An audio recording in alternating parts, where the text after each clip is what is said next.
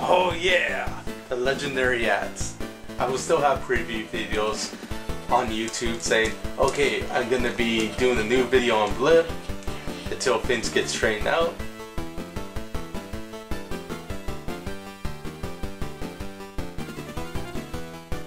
Talking to other gamers, shooting the shit. It was fun, it was awesome. And then YouTube had to ruin it all. Let's see the irate gamer do this. Yeah, this whole Spoony controversy. That one's still going on. Yeah, it looks like that one guy, Kamala. I'm still playing the game after all. and a good one at that. So even though I'm mad at YouTube for taking my AdSense away, at least I'm playing a very good TurboGrafx 16 game for Turbo Tuesdays.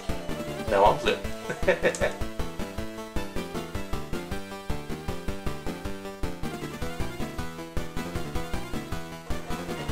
Some bondage can be fun, but you gotta have a safe word.